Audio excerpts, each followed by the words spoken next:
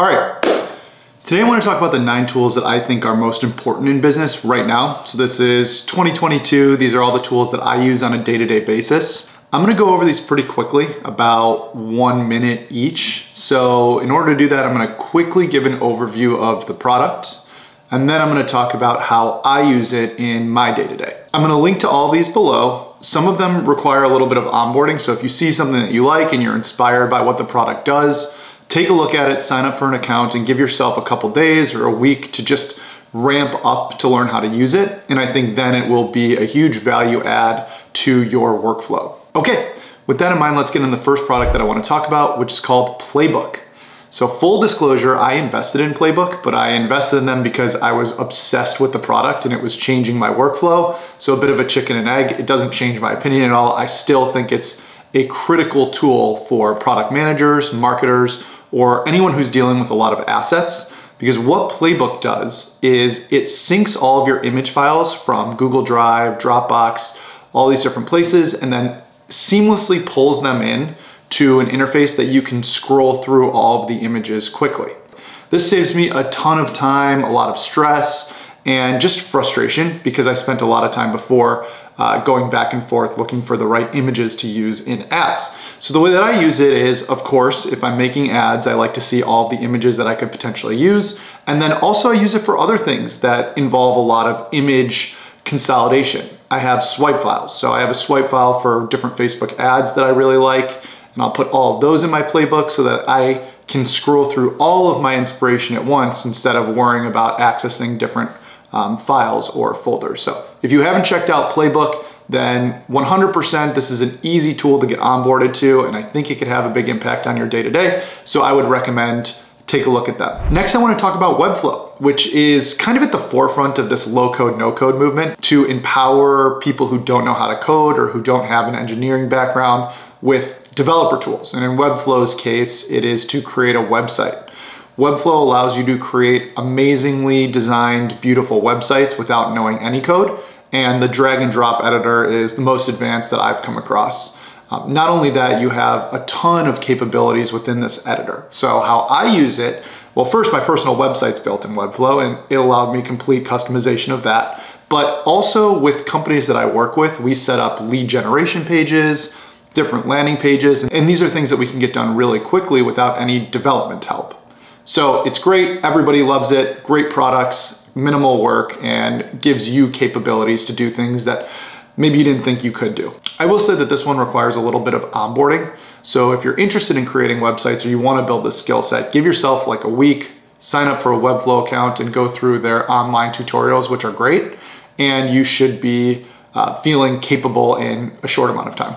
The next one I want to talk about is Google Data Studio. So those of you who work in marketing or operations or analytics are already familiar with this, or maybe you're not, and I'm about to make your day. Because what Google Data Studio does is it's a free software that aggregates different metrics from different platforms. So what I mean by that is, instead of you logging on to see performance of Facebook ads or Google ads, all of this stuff integrates easily with Google Data Studio, and then you can just build charts on top of it. And Google Data Studio is so good that now I prefer just linking up Google Analytics to Google Data Studio versus going to Google Analytics because the interface is so much easier to deal with in Data Studio to get the data that I want. And if I had to choose one tool that I just absolutely needed to have, I would choose Google Data Studio and it's free. Rounding out infrastructure tools that I use is Airtable. For those of you who are unfamiliar, Airtable is like a more powerful Google Sheets. It allows you to store images. It lets you do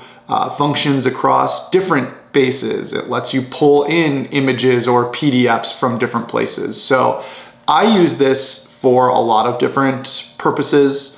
When I'm managing Facebook ads and creative, I like to set up Airtables so that I could figure out you know what ads are performing the best.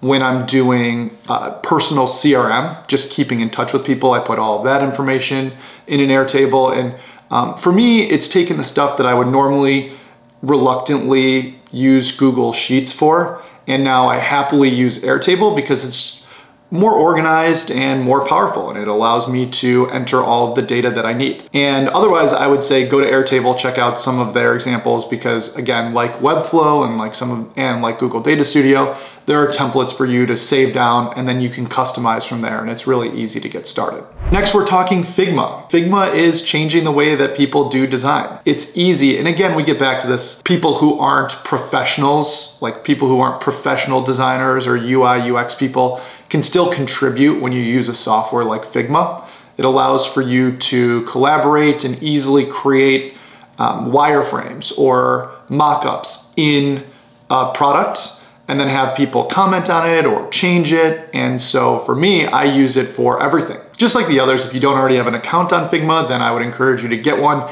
and just play around and see if it could add to your workflow at all. Out of all the different tools for marketing, the one that I'm going to recommend is Ahrefs. This is your out of the box tool for SEO, search engine marketing, anything that has to do with backlinks or tracking competitors.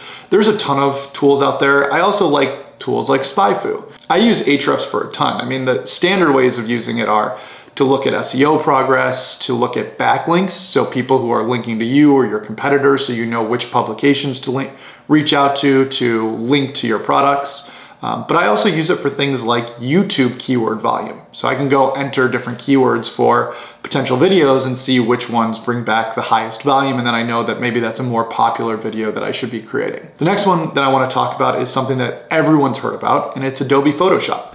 But the thing about Photoshop is it is still the leader of design software. So there are a lot of these competitors popping up that are telling you that you could create wonderful designs from templates without using Photoshop. To which I would say, you just need to learn Photoshop. It is a hundred times more powerful than all of these other softwares that are out there. It allows you to fully customize. It has amazing ability to do graphic design and really you could do pretty much whatever you want design wise in Photoshop. So this is less to introduce you to the tool and more to say if you are thinking about learning Photoshop, if you're looking for something that you could learn over a couple weeks, like over the holidays or whatever, I would invest in Photoshop. The amount that it gives you in terms of design and being able to communicate your designs is priceless. So I love Photoshop. I use it on a daily basis. I use it for creating ads, creating thumbnails, uh, creating mock-ups of websites, just everything possible that someone might look at design related. I, I put through Photoshop and there's nothing that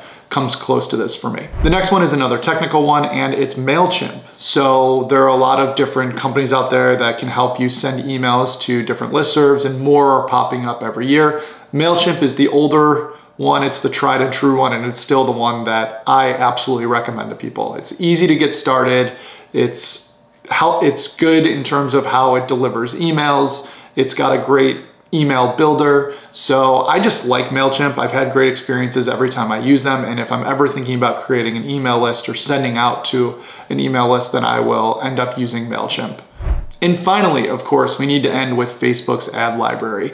Most of you are familiar with this, but I still bring this up in my MBA class uh, when I was teaching, and this is something that all the students were excited about.